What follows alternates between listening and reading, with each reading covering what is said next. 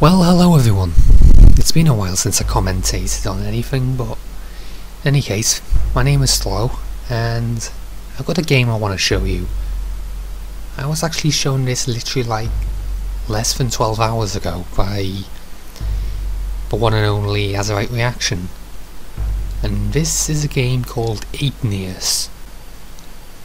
It's a free game, and I'm going to show it to you real quick.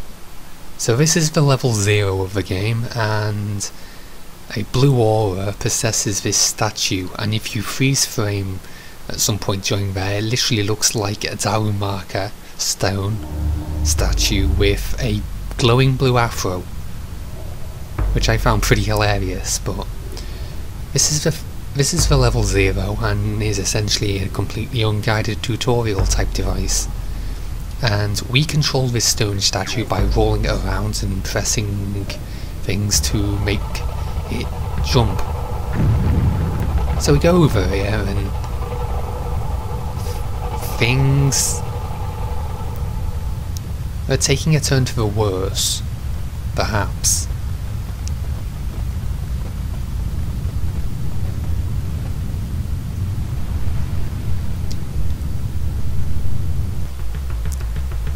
So, now we are entering the first proper level of the game, and so what it is a good time to describe the gameplay of the game.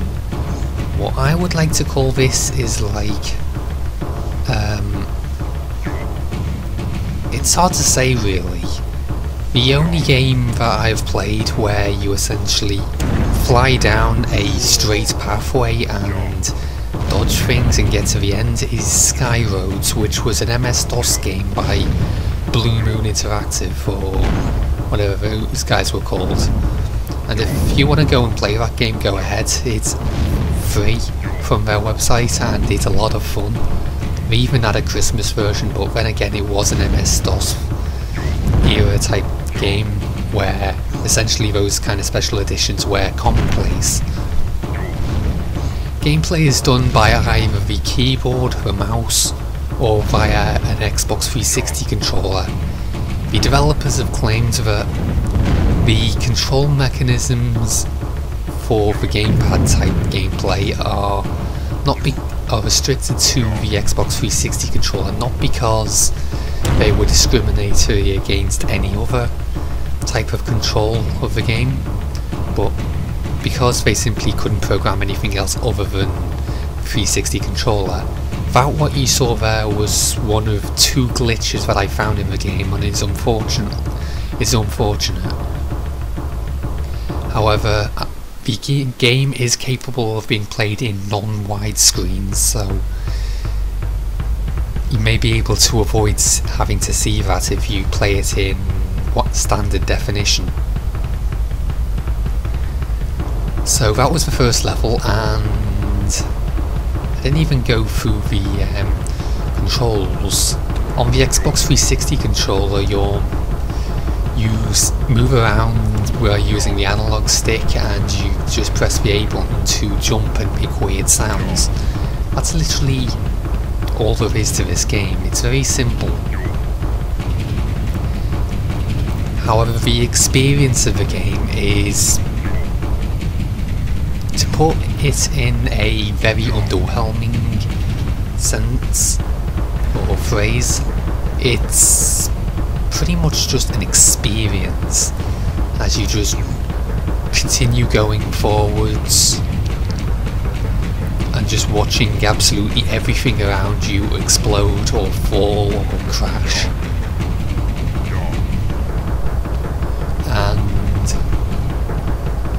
The normal difficulty is pretty much just the standard sight reading difficulty and with the exception of that stage 3 is not hard at all. Or I should stay, say stage 2 because I don't count the tutorial as an actual level. Oh my god lasers! And so begins the third proper stage, and actually this is the last stage of the game. It's very short, and that was just my first attempt because I don't remember. I was sight reading the um, game at this time and had no idea of how the final stage plays. So essentially, what you do in this stage is pick a path left or right and you fly down that path and avoid gigantic lasers of death and occasionally the rest of the world will fall down around you. One thing that you can do in this game that kind of helps lower the difficulty level to an acceptability is that even if you only just barely clutch the side of a wall, it regains your ability to jump. It's essentially which, combined with certain levels of the game, allows you to pull off some pretty incredible saves, where you simply come back from the brink of falling into an in infinite pit. And in normal difficulty, you also have a so-called Call of Duty style regenerative health where in certain situations where you actually take damage and do not die you will start glowing red and a haze effect will appear on the screen indicative of your damage level. And that is the end of the last level already. And the ending is simply we shoot the this guy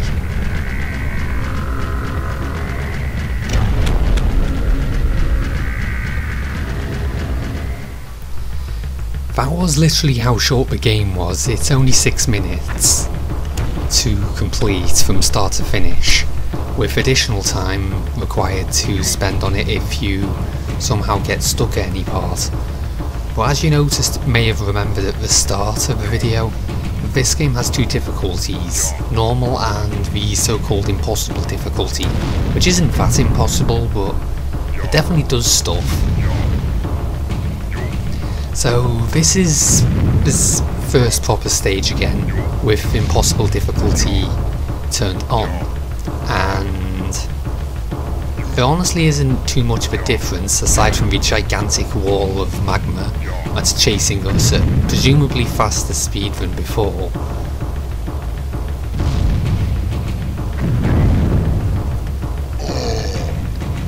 Unfortunately, you are pretty much a one-hit wonder and any critical mistake is going to get you killed.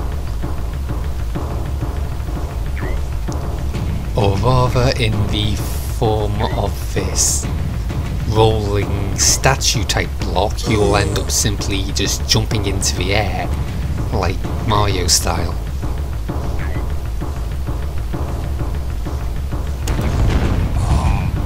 However, somehow, even on impossible difficulty, those small balls of magma which can hit you from behind don't kill you in one hit. And I'm not completely sure why that is.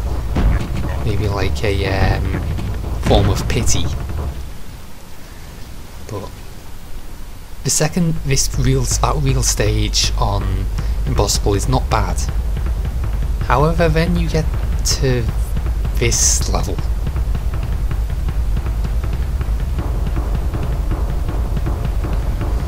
And this level on impossible difficulty essentially is throwing the kitchen sink at you. The level of destruction of the road you're on takes is absolutely colossal.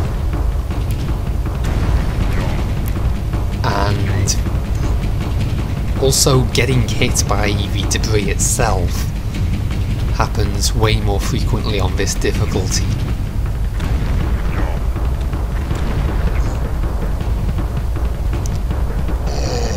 This can be considered to be possibly the main roadblock to anyone who actually wants to beat this game. And what's interesting about this level is two things. One is that every time you play it, the obstacles are randomized. So every time you attempt this level, something else is going to happen differently. And for that reason, it's also possibly the source of some of the um, main, what I would call the amazing comebacks. If you fly off the edge of the off the bottom of the screen, and you can climb onto certain pieces of falling debris, you can pull some amazing clutch saves that will just simply leave you thinking that was amazing. Although most of the time you will just fail. I didn't even get to mention the soundtrack for this game, it is absolutely incredible and it hints that you should wear headphones and to be honest you really should do. It amplifies it to an incredible degree of epicness. The game is also very impressive to look at, even if it will make your game lag. That was just the ultimate dick move I've ever seen in the game itself. I actually laughed at that somehow.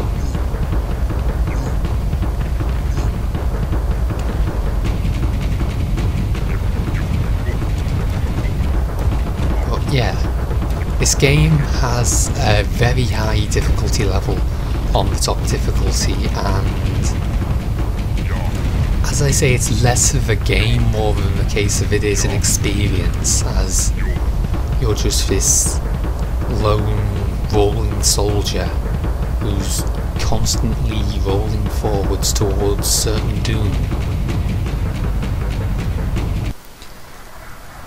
And just look at all the fire and magma.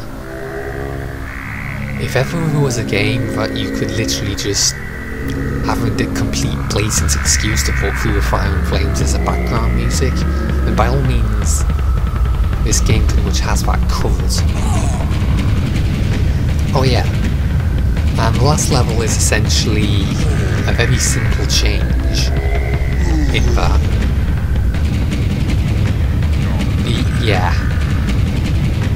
It throws more lasers at you and the lasers are complete, instant and sometimes unavoidable death. Like, if you barely clip, like even get close to lasers, you're going to get fried. And so, the best strategy for tackling this level is less a case of trying to take your chances and go between the lasers, but simply to veer out of the way as far as you can. Because the lasers also try to home in loosely on where you're trying to go. The massive amount of activity that goes on while this is all going on is sometimes distracting but very, very impressive to watch. And even if the game is very short, I liked this game a lot. And I would I highly recommend that if your computer is decent enough to actually run it, then you should just go out, go onto the internet and download it for yourself. It's only like 120 megabytes. What harm could it do? Thank you for watching, this has been Slow. Farewell.